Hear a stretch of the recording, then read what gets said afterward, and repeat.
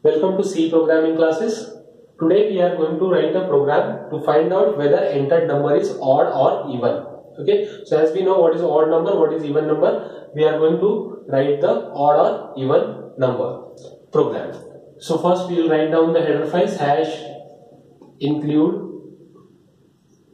stdio dot h standard input output header file then hash include conio.h okay? Then we'll declare the main function void. Main is a function. Now for this program we need a one variable one integer type of variable. Okay? So i'll declare here int num1 okay? Then as we know clear screen.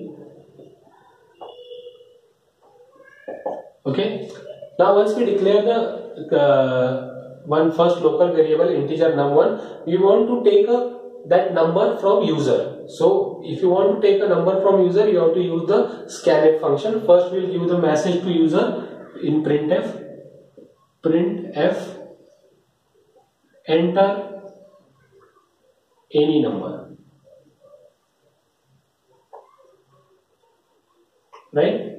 Once this message will be displayed. Now user will enter the number. Now we want to store that number in num1 so how to store that? For that we are going to use the scanf so as we know scanf is having syntax bracket inside that double quote percentage d.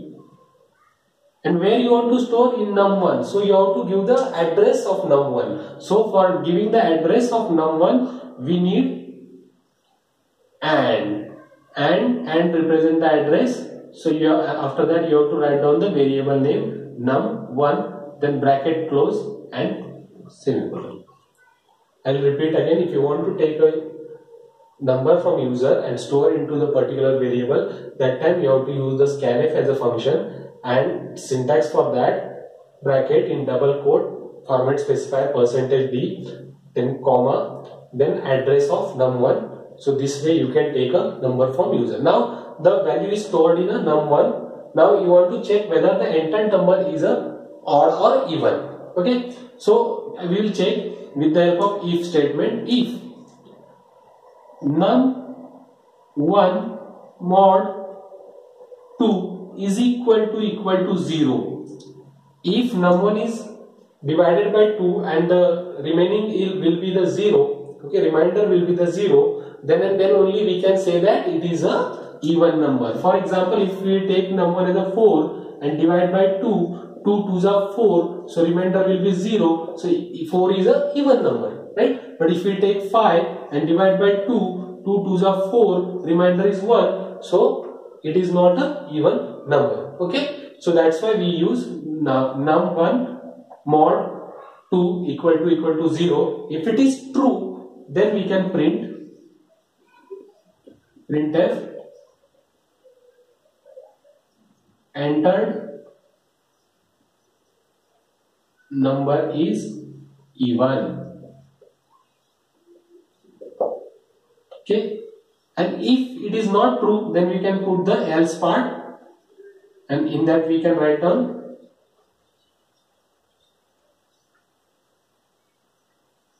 entered number is odd.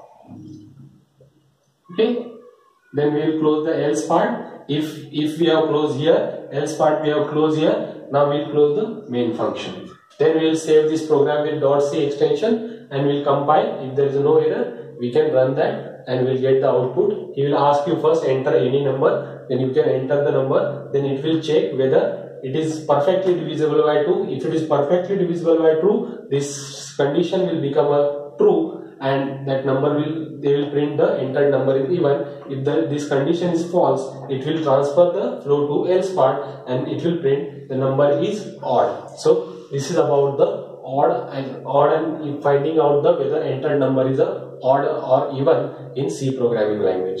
Thank you. Thank you for watching my video. If any suggestion or any comment please comment please comment in a below comment section. Thank you